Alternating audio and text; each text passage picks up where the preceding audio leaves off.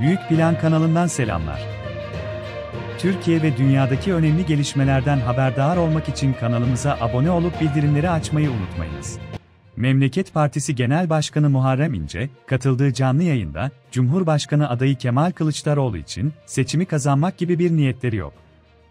Seçimi kaybedeceğiz, suçluyu şimdiden ilan edelim diyorlar dertleri bu, dedi. Kılıçdaroğlu seçimi kazanmak gibi bir derdi olmadığını vurgulayan İnce, Muharrem İnce çekil deniyor.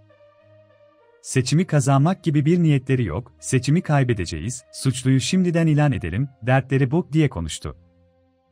Kılıçdaroğlu kendisine yaptığı ziyarete de değinen İnce, amaç anlaşmak, ikna etmek değildi zaten.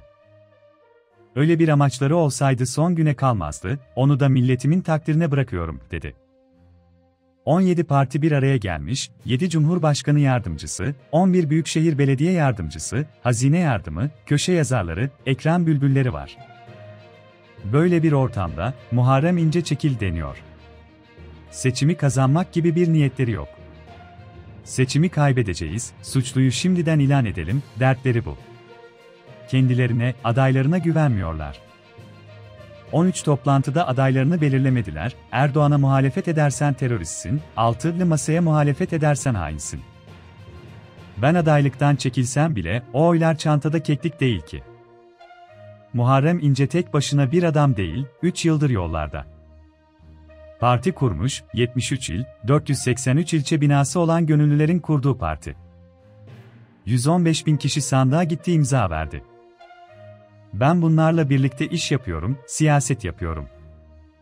Burada çekilmemizi gerekecek bir durum yok, teknik olarak da bu mümkün değil. Kurallar seçildi, yerler belli, bitti orası. Kılıçdaroğlu son seçimi, genel başkanlık boşta. Herkes birbirini biçiyor, kendi genel başkanlarına kumpas kurarlar, bunu biliyorum. Nasıl partisinin siz ifadelerini kullandı.